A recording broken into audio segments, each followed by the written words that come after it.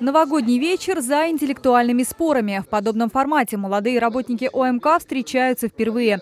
Три года подряд Совет молодежи комбината проводил праздничные вечеринки, на которых участники соревновались в разных танцевальных жанрах. В этот раз диско-паркет сменили на мозговую арену. Игра «Интеллектуальный градус» набирает популярность во многих городах страны, в том числе и в Старом Осколе. На самом деле э, повод э, для того, чтобы собраться вместе, не сильно важен, будь то танцы или интеллектуальная игра. Главное собраться вместе, увидеться в неформальной обстановке, ну еще и посоревноваться в чем-нибудь. Семь туров по семь вопросов. Каждый раунд различается по тематике и формату заданий. В ход идет весь арсенал знаний, от школьной программы до практических навыков. Здесь важны скорость реакции, на каждый вопрос дается ровно минута, и внимательность. К примеру, в одном из заданий нужно было на глаз определить рост ведущего. У нас работает целая авторская группа, которая придумывает все эти вопросы. Сами мы собираемся, на все эти вопросы отвечаем, поэтому никаких таких чрезвычайно трудных или чрезвычайно легких вопросов не будет. Вопросы бывают и на логику, и на знания, незнания, а бывают и шуточные вопросы, поэтому без чувства юмора никуда. Самое главное, это самая главная цель нашей игры, чтобы все остались довольны и все отлично провели время.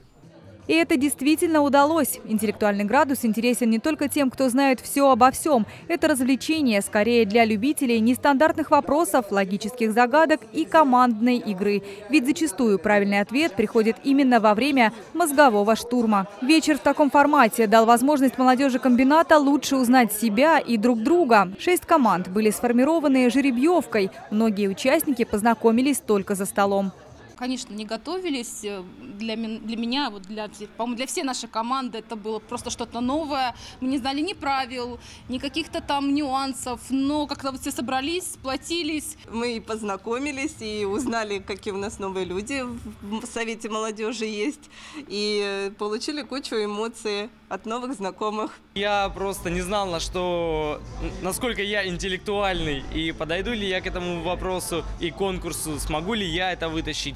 Ну, получилось, что вытащил. Вопросы были, конечно, такие и гладкие, и добрые, и смешные. Были такие вопросы каверзные, были с подковырками. Но было, в принципе, все интересно. В итоге самой интеллектуальной оказалась команда «Идеальные незнакомцы». Первое место и буря впечатлений. Все эти эмоции, которые сегодня получили, это просто вихрь, потому что тут нужно быстро подумать, тут нужно что-то догадаться. Короче, очень э, здорово. Спасибо организаторам, спасибо то, что мы вообще тут все оказались. По условиям игры награждают не только победителей, но и тех, кто занял последнюю строчку. А специальный приз достался команде «Потенциал» за самый красивый почерк.